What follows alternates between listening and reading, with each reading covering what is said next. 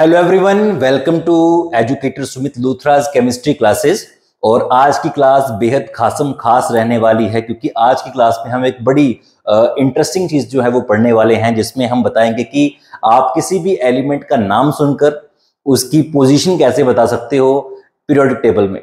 तो उसके लिए आपको सिर्फ़ एक चीज़ पता होनी चाहिए, उस एलिमेंट का एटॉमिक नंबर अगर आपको उसका एटॉमिक नंबर मालूम है तो आप उसकी पोजीशन जो है वो स्पेसिफिकली किस ग्रुप से है, किस पीरियड से है, किस ब्लॉक से है, वो आप बता सकते हो। तो इसको समझना बड़ा ही आसान है। तो चलिए आपको दिखाते हैं कि किस तरह से आप उसका ब्लॉक उसका पीरियड उसका ग्रुप और उसकी पोजीशन किस तरह से आप बता सकते हो एक पीरियोडिक टेबल के अंदर उस एलिमेंट की पोजीशन क्या है।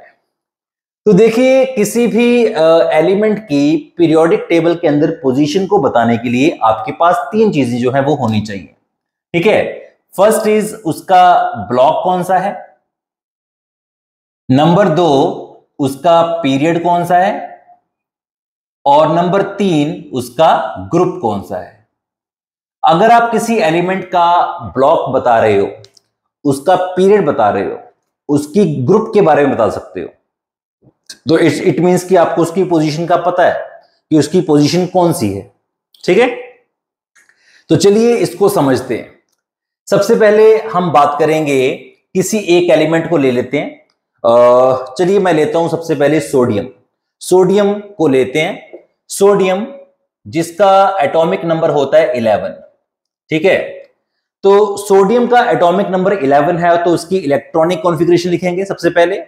इलेक्ट्रॉनिक कॉन्फ़िगरेशन है इसकी one s two two s two two p six and three s one अब लेते हैं एक और एलिमेंट जैसे कि मैंने ले लिया स्कैंडियम ठीक है? स्कैंडियम तो स्कैंडियम का एटॉमिक नंबर है twenty one okay one s two two s two two p six three s two three p six four s two three d one ये आ गई स्कैंडियम की इलेक्ट्रॉनिक कॉन्फ़िगरेशन इसी तरह से अब हम लेते हैं एक और एलिमेंट कोई भी ले लीजिए फॉस्फोरस ले लेते हैं, जिसका एटॉमिक नंबर है 15 one s two two s two two p six three s two three p three okay तो ये मैंने यहाँ पर तीन एलिमेंट्स लिखे हैं for the example okay for better understanding आप कोई और एलिमेंट भी ले सकते हैं. और उनके ऊपर भी यही प्रिंसिपल्स आप अप्लाई कर सकते हैं जो मैं यहाँ पर अप्लाई करने वाला हूँ।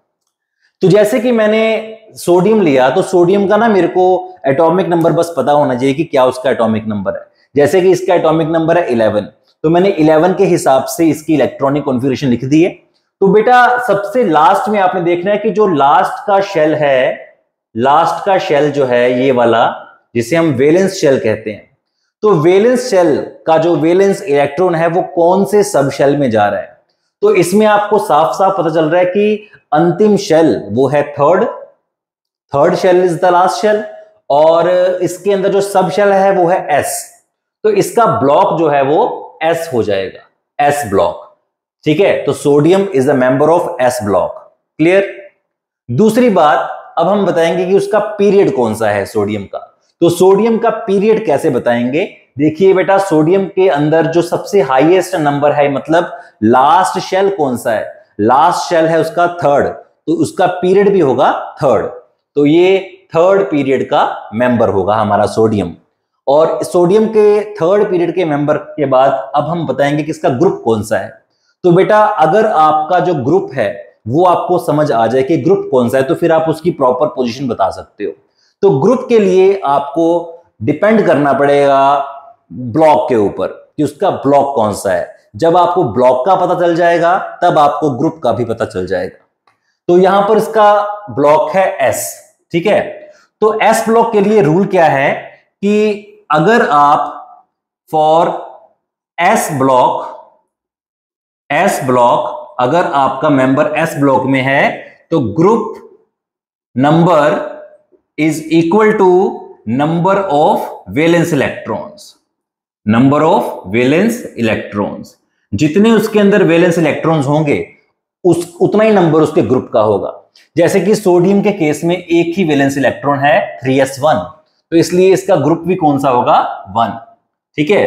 तो ये एस ब्लॉक का रूल है कि एस ब्लॉक के केस में जितने वैलेंस इलेक्ट्रॉन्स होते हैं उतना ही नंबर होता है ग्रुप का। जैसे मैं एक और एग्जांपल लेता हूँ मैग्नीशियम की। तो मैग्नीशियम का एटॉमिक नंबर होता है बेटा ट्वेल्व तो इसकी अगर मैं इलेक्ट्रॉनिक कॉन्फ़िगरेशन लिखूं तो बन जाएगी one s two two s two two p six and three s two तो इसमें वैलेंस इलेक्ट्रॉन दो हैं। तो इसका ग्रुप नंबर टू हो जाएगा। ठीक है? तो इस तरीके से आप बता सकते हैं पीरियड ब्लॉक और group for s block elements अब हम बढ़ते हैं आगे। पी ब्लॉक की तरफ़। पी ब्लॉक की तरफ़ चलते हैं। ठीक है? पी ब्लॉक देखिए, अगला मेंबर है मेरे पास फॉस्फोरस मैं इस मेंबर को पहले बताऊँगा, उसके बाद मैं इस पर आता हूँ, ठीक है? तो पी ब्लॉक में जो मैंने लिया है एलिमेंट वो है फॉस्फोरस तो फॉस्फोरस में अभी आपने वैसे ही देखना है कि लास्ट इलेक्ट्रॉन जो है, वो कौन से सबशेल में जा रहा है? वो जा रहा है पी में. तो इसका ब्लॉक कौन सा होगा? पी ब्लॉक होगा. तो इस तरह से हमने इसका ब्लॉक पता कर लिया. ब्लॉक के बाद पीरियड फाइंड करने का भी वही तरीका है कि आपको देखना है कि वेलेंस शेल कौन से नंबर पे आ रहा है। तो इसमें वेलेंस शेल है थर्ड थर्ड ठीक है? Three is the highest number तो इसका वेलेंस शेल है थ्री तो इसका पीरियड भी कौन सा होगा? थ्री तो हमने इसका पीरियड भी पता कर लिया। इसका पीरियड थ्री है। अब बात करेंगे इसके ग्रुप की। तो बेटा ग्रुप का पता लगाने के लिए आपको डिपेंड करना पड़ेगा उसके ब्लॉक के ऊपर। तो अभी बात करेंगे कि फॉर पी ब्लॉक क्या रूल है? फॉर पी ब्लॉक ग्रुप कैसे निकालते हैं? Group number is equal to बिल्कुल वैसा ही ऐसे एस ब्लॉक में निकाला था, लेकिन थोड़ा सा फ़र्क है। Number of valence electrons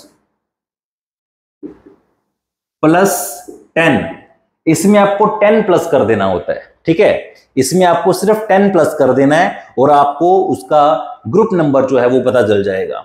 तो जैसे यहाँ पर मेरे पास है, कितने वैलेंस इलेक्ट्रॉन है? थ्री वाले में टू और थ्री टोटल पाँच इलेक्ट्रॉन है। तो पाँच में मैं प्लस कर दूँगा टेन तो इसका फिफ्टींथ ग्रुप जो है वो आ जाएगा। ठीक है? तो phosphorus is in fifteenth group okay so in this way you can find the group of the element for p block members p block के बाद जो अगला हमारे पास बेटा सिस्टम है, वो है डी ब्लॉक के लिए, ठीक है? स्कैंडियम की बात करते हैं। अगला मेंबर है हमारे पास स्कैंडियम बाकी दो मैं मिटा देता हूँ, क्योंकि अब बात हो रही है स्कैंडियम की। ठीक है? स्कैंडियम की बात हो रही है। स्कैंडियम के केस में आप देख पा रहे हैं कि अंतिम इलेक्ट्रॉन जो है वो डी में जा रहा है तो इसका ब्लॉक होगा डी ब्लॉक ठीक है? इतनी तो आपको क्लैरिटी हो चुकी है। दूसरी बात इसमें वेलेंस शेल का नंबर कौन सा है? तो बेटा वेलेंस शेल इसमें है fourth this is the valence shell highest number तो fourth shell is the valence shell तो इसका पीरियड नंबर हमारे पास बन जाएगा फोर स्कैंडियम का पीरियड कौन सा आ गया? हमारे पास फोर आ गया. अब बात करते हैं ग्रुप की. तो ग्रुप में आपने क्या करना है? देखो बेटा, इसमें जो वेलेंस शेल का हाईएस्ट नंबर होता है ना, उसे हम बोलते हैं एन ठीक है? एन तो इसमें एन की वैल्यू कितनी है? फोर तो इसमें आपको क्या करना है कि n s plus n minus one d electrons को प्लस कर देना है और आपके पास ग्रुप का नंबर आ जाएगा। इसका ग्रुप कौन सा है? ठीक है? एन एस और एन माइनस वन डी। अब आप बोलोगे, ये कैसे संभव है? दिखाता हूँ। जैसे मेरे पास यहाँ पर ना एन एस मतलब फोर एस में कितने इलेक्ट्रॉन्स हैं? दो इलेक्ट्रॉन्स हैं। इसमें मैं क्या प्लस करूँगा? इसमें मैं प्लस करूँगा एन माइनस वन डी। अगर मेरा एन फोर है तो एन माइनस वन कितना होगा? थ्री होगा। तो थ्री के डी में कितने इलेक्ट्रॉन है? एक ही है। तो इसका थर्ड ग्रुप जो है, वो मेरे पास बनेगा। तो स्कैंडियम का ग्रुप कौन सा है? थर्ड है। ठीक है? So in this way you can find easily the position of an element तो बस ये तीन रूल्स आपको याद रखने हैं। एस ब्लॉक के लिए जितने वेलेंस इलेक्ट्रॉन्स होंगे, वही ग्रुप नंबर है। पी ब्लॉक के लिए जितने वेलेंस इलेक्ट्रॉन्स होंगे, उसमें टेन प्लस कर देना होता है। और डी ब्लॉक के लिए जो एस वाले इलेक्ट्रॉन्स हैं हाईएस्ट वेलेंस शेल के जो एस इलेक्ट्रॉन्स हैं, उसमें n minus one d electrons को आपको प्लस करना है। ठीक है? जैसे यहाँ पर एन की वैल्यू चार है तो एन माइनस वन की वैल्यू तीन हो जाएगी। ठीक है? चलिए, ये रैंडमली एक और मेंबर पकड़ते हैं और देखते हैं कि उसका ग्रुप कौन सा है पीरियड कौन सा है और ब्लॉक कौन सा है। चलिए, किसी भी मेंबर को पकड़ लेते हैं। जैसे सपोज़ कर लिए कि मैंने ले लिया मेंबर आयरन मैंने आयरन ले लिया, ठीक है एफ़ ई इसका एटॉमिक नंबर है 26 तो ये बन जाएगा 1s2 2s2 2p6 3s2 3p6 4s2 and 3d6 ठीक है? This is the electronic configuration of iron तो आयरन की इलेक्ट्रॉनिक कॉन्फ़िगरेशन हमने लिखी तो हमें ये साफ़ साफ़ पता चलता है कि अंतिम इलेक्ट्रॉन डी में जा रहा है। तो इसका ब्लॉक कौन सा हो गया? डी और इसका पीरियड कौन सा हो जाएगा भाई? पीरियड हो जाएगा इसका फोर क्योंकि हाईएस्ट नंबर कितना है? फोर है। और इसका जो ग्रुप है, वो कौन सा होगा? तो इसमें n s electrons n s का मतलब फोर एस फोर एस में कितने इलेक्ट्रॉन है? दो। और एन माइनस वन डी मतलब थ्री डी इसमें कितने हैं? छ तो इसका एट्थ ग्रुप आएगा बेटा। इसका आ जाएगा हमारे पास एट्थ ग्रुप ओके तो ये हो गया हमारा डी ब्लॉक के लिए किस तरह से आप फाइंड कर सकते हैं उसकी पोजीशन किसी भी मेंबर की पोजीशन द पीरियोडिक टेबल अब एक बात रह गई एफ़ ब्लॉक तो करवाया ही नहीं. तो बेटा एफ़ ब्लॉक के केस में आपको कुछ नहीं करना होता है. उसमें देखिए ब्लॉक जो है वो बिल्कुल वैसे ही निकलेगा कि लास्ट इलेक्ट्रॉन देखो कौन से शेल में जा रहा है, ठीक है? कौन से सब शेल में जा रहा है? तो आप वहाँ से बिल्कुल सेम तरीके से उसका ब्लॉक और पीरियड निकाल सकते हो, ठीक है? ब्लॉक और पीरियड आप उसका निकाल सकते हो। और सबसे आसान चीज़ है उसका ग्रुप फाइंड करना। तो एफ़ ब्लॉक के लिए एफ़ ब्लॉक एलिमेंट्स के लिए ग्रुप हमेशा थ्री ही होता है। ये बात याद रखनी है। उसके लिए हमेशा ग्रुप नंबर तीन ही होगा। उसमें आपको कोई भी माथा खपची करने की ज़रूरत नहीं है। उसमें हमेशा आपका ग्रुप जो है वो थर्ड ही निकलेगा। आई होप कि आपको ये सारा कुछ क्लैरिटी में जो है दिमाग में बैठ रहा होगा और आप किसी भी मेंबर की इलेक्ट्रॉनिक कॉन्फ़िगरेशन से उसकी पोजीशन का अंदाज़ा लगा सकते हो कि वो कौन से ग्रुप में है, कौन से पीरियड में है और कौन से ब्लॉक में है। एक मेंबर और करते हैं जाते जाते और उसके बाद फिर इस वीडियो को हम करेंगे खत्म और एक मेंबर पकड़ लेते हैं कोई भी। रैंडमली कोई भी मेंबर पकड़ लेते हैं। मेंबर मैं पकड़ रहा हूँ बेटा जर्मेनियम 32 नंबर, ठीक है? जर्मेनियम 32 ठीक है? इसकी इलेक्ट्रॉनिक कॉन्फ़िगरेशन लिखते हैं। तो इसकी जब हम इलेक्ट्रॉनिक कॉन्फ़िगरेशन लिखेंगे तो ये बन जाएगी मेरे पास 1s2 2s2 2p6 3s2 3p6 4s2 3d10 4p2 okay तो ये मेरे पास हो गए 32 इलेक्ट्रॉन्स कंप्लीट तो अभी दो दो, चार चार और छह दस दस दो बारह बारह छह अठारह अठारह दो बीस बीस दस तीस और दो बत्तीस। पूरे इलेक्ट्रॉन हो गए तो बेटा सबसे पहले मेरे को साफ़ साफ़ क्लैरिटी में आ रहा है कि इसके अंदर जो आ, है ब्लॉक कौन सा है? ब्लॉक आ रहा है बेटा इसका पी ब्लॉक कौन सा आ रहा है भाई पी ब्लॉक आ रहा है। और इसके अंदर ग्रुप पीरियड कौन सा है? पहले पीरियड देखेंगे। पीरियड है इसके अंदर चौथा क्योंकि पूरी इलेक्ट्रॉनिक कॉन्फ़िगरेशन में हाईएस्ट नंबर हमें जो नज़र आ रहा है वो फोर ही आ रहा है। ठीक है?